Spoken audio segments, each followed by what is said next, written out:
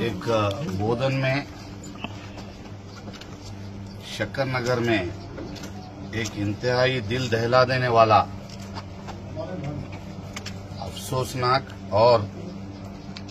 भयंकर हादसा पेश आया। एक रवि बोलने वाला दरिंदा, एक मासूम तेरह साल की बच्ची के साथ ज़बरदस्ती उसके हाथ पैर बन के एक बहुत ही दर्दनाक, भयंकर हरकत जिसकी कोई सीमा नहीं है। इस तरीके की जो दरिंदा हरकत करा,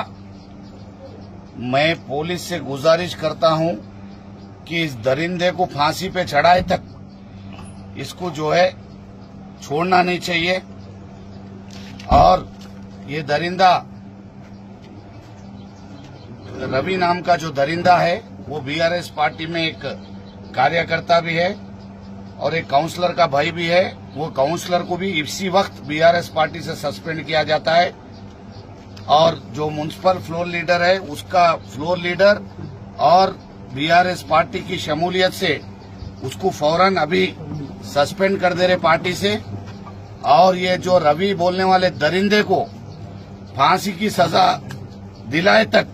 मैं कसम खाता हूँ कि जब तक इसको पूरी सजा नहीं मिली कानूनी तौर पे, इसको हम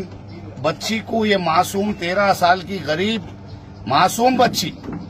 इसको हर तरीके से हम इंसाफ दिला के रहेंगे, और इसका तमाम एविडेंस कलेक्ट करके इसको फांसी पे चढ़ा के रहेंगे। अगर इसमें और कोई भी लोग मुलविस है, किसी को इसमें छोड़ने का नहीं है, हुआ तो इसमें सीआईडी को भी इन्वॉल्व करके सीआईडी का केस करके इस दलिंदर को फ़ौरन से फ़ौरन इसको फांसी की सजा दिलाई जाएगी। और इन लोगों को पार्टी से इसी वक्त